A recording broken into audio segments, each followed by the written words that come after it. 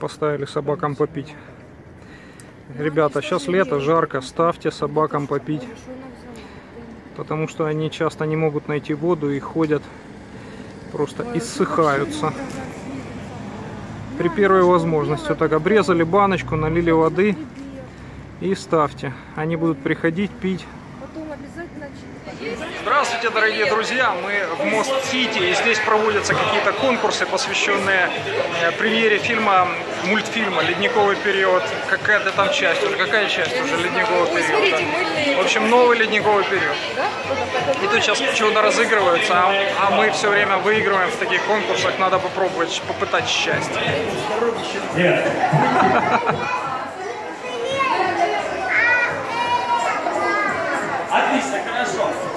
Хорошо, рассказывать загадку последний раз, вам нужно внимательно слушать мои слова. Договорились? Плывем на большом корабле. Вдалеке видим маяк. Знаете, что такое маяк? Отлично. А, Мы с моими друзьями смотрим на маяк правым глазом, а вы все вместе смотрите левым. Маяк то потухнет, то погаснет. Кто маяк увидит первым? Почему? Почему никто не увидит? Смелее, смелее. По- Погаснет и... Давай, давай. Точно, маяк не горит, никто не увидит. Отлично, первый билет получает наш клиент. Похлопаем погромче. Так. Держи. И еще один билет. Что-то я сегодня слаб по части загадок. И похлопаем ребятам погромче. Спасибо, что шаг. Итак, Придется платить за билет. И отправляемся за Сидом, друг за другом.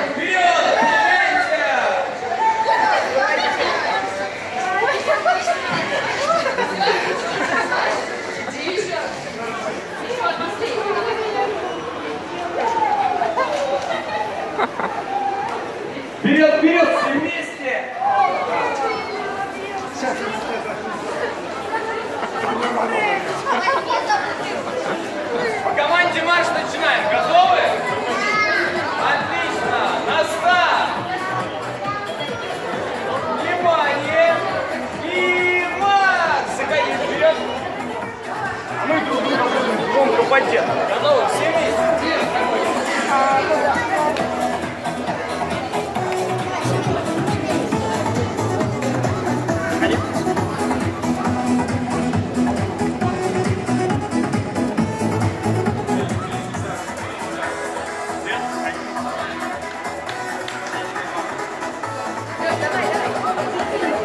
А, Я в круг становилась и меня поднимали. Хочешь посмотреть? а ну давай.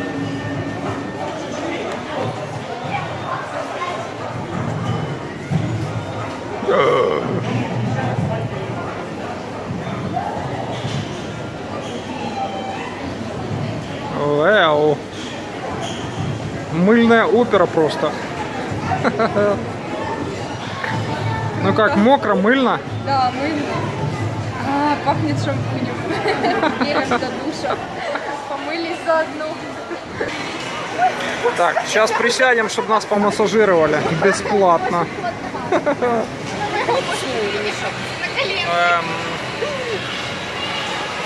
Так. Вот так, да? Вау.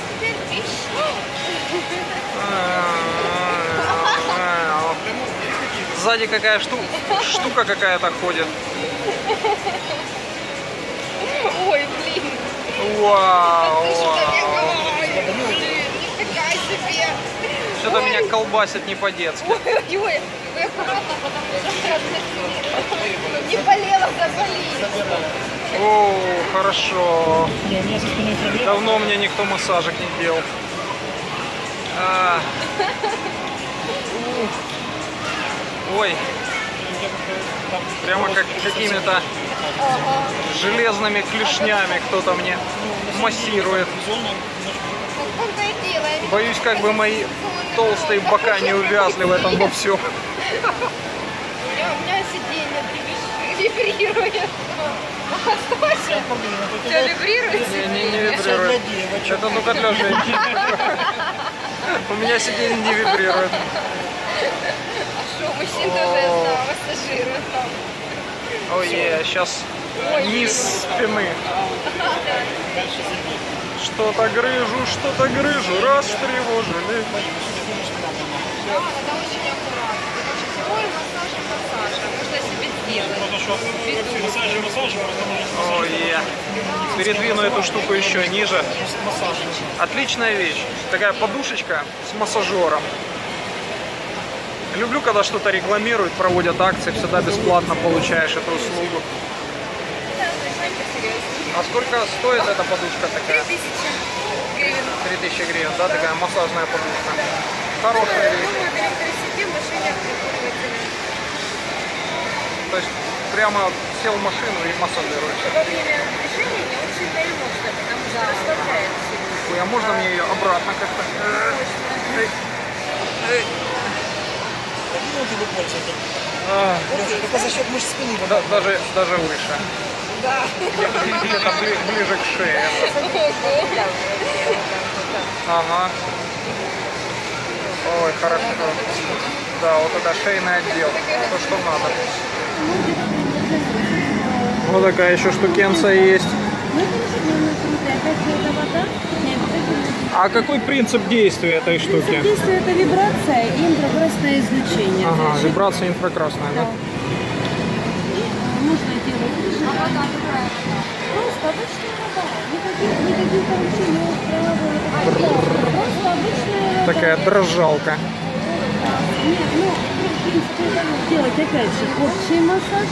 Вот, и прорабатывать вот эти вот самим подтягивать. Вот, за счет того, что да. Вот, опять же, У мужчин же нет целлюлита, да? бывает, у меня муж, знаете, гордится, малейшая пьянка, он собирает Господи. не, у нас на пояснице, говорит, я поизражал, видите, вот. Сколько стоит? меня. во- Нету. Сколько эта штучка Три с стоит? половиной тысячи Три с гривен. половиной, то есть дороже, чем та? Да, здесь обычно пластик, никаких сверхъестественных. Давай я тебя поснимаю. А вообще, вы, знаете, что к нам можно походить на сеансе? И тоже сеанс входит именно э, постепенно. Не зажимай тут. Ага. И- Здесь же ведь не электрос. Да. А часто бывает тенденситы? естественно. И смотрите, в каждый сеанс входит э, массаж на это можно выбрать. Э, Программа на подушке для шейного отдела. Можно делать, можно смешивать коктейль. Сожрать лимон. Это- Я весь вибрирую. Можно коктейль смешивать. А сколько стоит сеанс вот этой вот штучкой, если будет? Смотрите, это входит в каждый сеанс. И на подушке, вот как мы сидели на такой накидке, э, ну, поняли, да, что здесь вибромассаж ягодиц, что не только для седалищного нерва, но и целлюлита тоже надо. Трактористам за это дают бесплатно молоко, за, за вибрацию.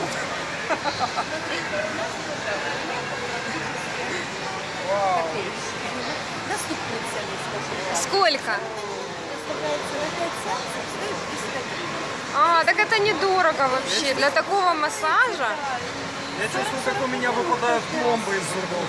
А это вопрос к вашему стоматологу. Так, осторожно там с позвоночником, а то у него там проблемы. Нет, все хорошо, только сотрясение мозга сейчас. Не-не, не будет. Смотрите, Лишний жирок разобьет. А живот, можно ему, ему живот Не разбить? надо живот. Надо, надо. На святое замахнуть. А лицо можно ему разбить? Один живот. Где там второй?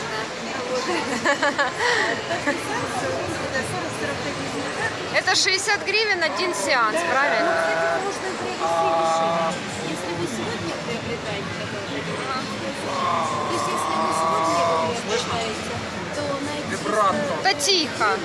вам дается полноценный курс неделю. Вот и делайте девушке подарок. Я смотрю, что она наш мама.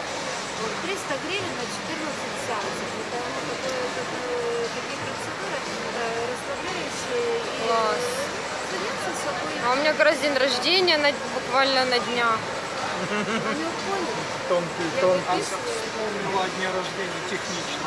А мне сейчас его все напоминают. Приходят какие-то смс с разных магазинов. У вас там сколь- ск- скоро день рождения? Откуда они знают? Ой, э, я вибрирую до сих пор. Что она такое рассказала? Ну да, а? Я вот Увидели кашуню, решили подкормить.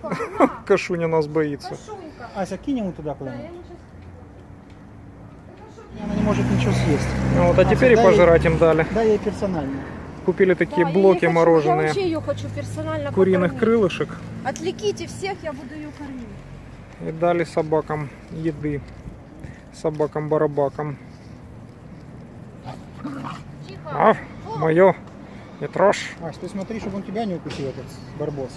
Это похоже... А, это все... Блин, ну вообще дубовая, ну блин, ну вообще мерзлое такое. Ну ничего, размерзнется. Сейчас Не, такая ну, жара, понятно, что... оно Надо той дать, худой. Да я согласна. я- О, смотри, тут серая собака утащила целый блок, Ася. Это была идейка не Айс, если честно. Надо было дать все-таки разморозиться. Ну ничего, ее найдут. Ее Ну, найдут. уже после того, как она все Я сожрет, это будет э, не того. Вот. Ну, вот- значит, вот ее сожрут вместе Ну, а с курятиной. Я сейчас на набережной. Это та ее часть, что возле Института физкультуры. И вот это места моей юности, где я с 16 до 20 лет работал на берегу на постройке яхт. И вон видна яхточка, вон она, синего цвета. Вон две буквы АТ вид- видно, это последние буквы от слова карат. Вот такая мачта у нее. Вот это та, которую я строил. И мы довели до конца ее строительства. Там была еще одна такая. Вот эта яхта, она 13 где-то с половиной метров в длину и где-то три с половиной метра в ширину. Вот она закончена и с тех пор с 90-х годов успешно плавает. Ходит, то есть, как мне говорили, плавает только дерьмо. Вот. А вторая яхта была 22, по-моему, метра в длину и где-то 5 с лишним метров в ширину. Вот. Но ее, по-моему, так и не закончили. Хотя, может, потом закончили. Но вот это моя яхтуля дорогая, которая на ходу, которая совершает прогулки платные. Вот так. Приятно, когда есть что-то законченное, то, что ты сделал своими руками. Я решил попроситься на территорию, чтобы поближе рассмотреть, снять мою яхточку. Но новые хозяину, хозяева туда, естественно, никого постороннего не пускают. И охрана сказала подождать какого-то человека, который, видимо, может позвонить хозяевам и спросить. Я сказал, что я ее строил с 91 по 95 годы. Вот. Ну, если я дождусь этого чело- человека сейчас, пока тут мою машину неподалеку, вот, то покажу вам яхту, а не, не дождусь, так просто верьте мне на слово. Вот такие сейчас цены на заправках на бензин, на дистопливо. Вот тот, что 24,99, э, ну 25 гривен, это нормальный 95 как бы, которым можно заправляться. По 24 гривны я бы не заправлялся. Ну вот и представьте себе, у меня бак 60 литров, мне надо 1500 гривен, если я не ошибаюсь, чтобы полный бак заправить. Вот. Жрет у меня литров 15 на сотню. Да, прожорливая машинка. Ну что поделаешь. Вот представьте, полторы тысячи. А зарплаты предлагают по 3-4 тысячи. То есть это на 2-3 заправки бензином. Вот такое время, вот такая страна. Вот там сейчас ворота на замке. Никого постороннего не пускают. Даже если человек не совсем посторонний, то все равно не пускают. Вообще вот эти годы, 90-е, особенно середина 90-х, это для меня было, наверное, самое счастливое время в жизни. Ну, одно из самых счастливых времен. Для кого-то 90-е это были очень суровые, трудные годы. Для моего папы это тоже были трудные годы. Он тогда стал серьезно работать, зарабатывать серьезные деньги. организовался кооператив, он там стал участвовать. Вот. Но и в то же время хорошие годы.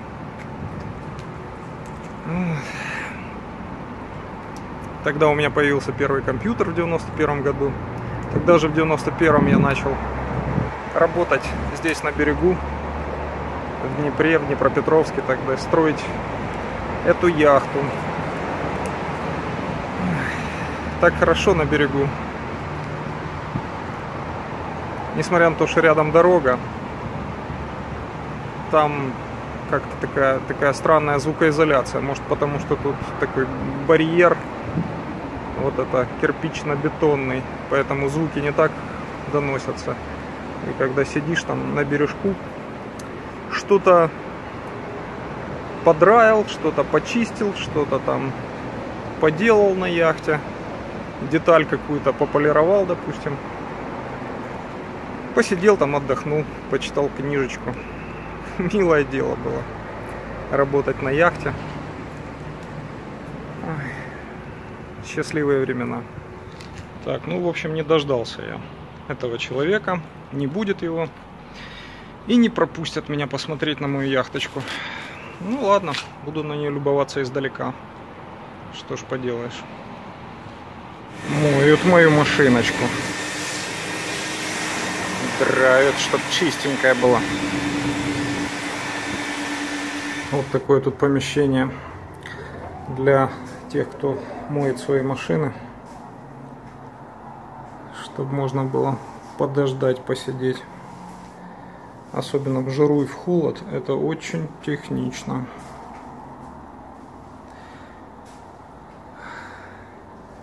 Диванчик и два стула. Журналы и телевизор.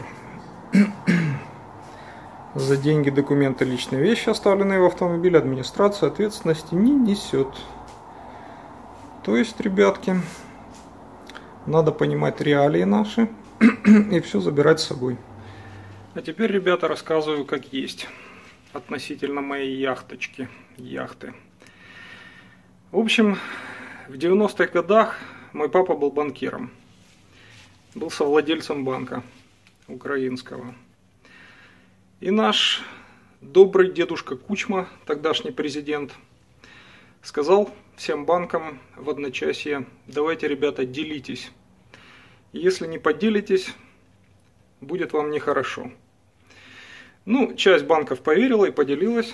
Вот, а банк моего папы в лице совладельцев банка решили, что можно жить по закону, можно бороться за свои права в нашем правовом государстве.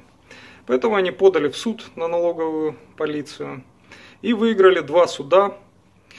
Вот, те им инкриминировали неуплату налогов, ну, в общем, все как обычно. Они выиграли, банк выиграл.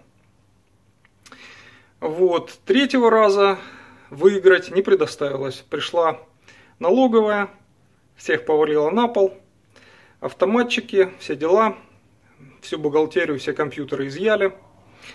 Вот. И кого успели, того просто так посадили в тюрьму без предъявления конкретных обвинений. И вот так там некоторые люди просидели по полтора года, по три года. Вот. В это время моим родителям удалось, удалось вовремя уехать и какое-то время жить за границей. Потом посаженные люди вышли на свободу, им так и не предъявили никаких обвинений конкретных, никого не осудили, просто они сидели просто так. Вот. Никому сроков реальных за что-то конкретное так и не дали. Были суды, пересуды. И вот, значит, вот эта яхта принадлежала банку. И в связи с тем, что мой папа был совладельцем, я, соответственно, был и остаюсь, собственно, прямым наследником и как бы имею прямое отношение к владению этой яхтой и другим имуществом банка, которое было разграблено, растащено просто тогда налоговой, их родственниками, их кумовьями, знакомыми и так далее распродано по дешевке, в общем, разграблено все имущество. Таким образом, теперь моя яхточка, яхта, на которой я мечтал ходить когда-то по морю, по океану. Она благополучно осела в чужих руках, и сейчас я на нее смотрю со стороны. Вот. Все остальное имущество я, естественно, так не могу отследить. Какие-то там множество машин банковских, какие-то недвижимость там и так далее и тому подобное. Вот. Вот такие дела, ребята. В таком правовом государстве мы жили и на самом деле все еще живем, если смотреть правде в глаза. И когда конец край этому беспределу будет, пока не знаю. Ну, за это нужно бороться. Собственно, за это стоял Майдан, даже два Майдана. Ну, пока существенных подвижек в плане прекращения. Хотя на самом деле нет. При Януковиче это был полный беспредел. Так что сейчас, в общем-то, в этом плане уже лучше. При Ющенко, при Ющенко получше было, чем если бы мы выбрали тогда Януковича. И сейчас, когда мы свергли Януковича, то, то уже получше. Как бы нет такого беспредела, такого передела власти. Но все еще есть беззаконие со стороны верхов наших. Так что нам еще бороться, не перебороться. Единственное, что жалко, жизнь протекает сквозь пальцы, утекает. И как все было в моей юности, так все и остается. И я не верю, что когда-нибудь на моей жизни, во время моей жизни, моего существования здесь что-то существенно изменится. Так что при всем моем патриотизме и любви к родине, я не настроен слишком оптимистично. У меня нет розовых очков, у меня обычные очки с диоптриями на глазах. Вот так, ребята. Такая история.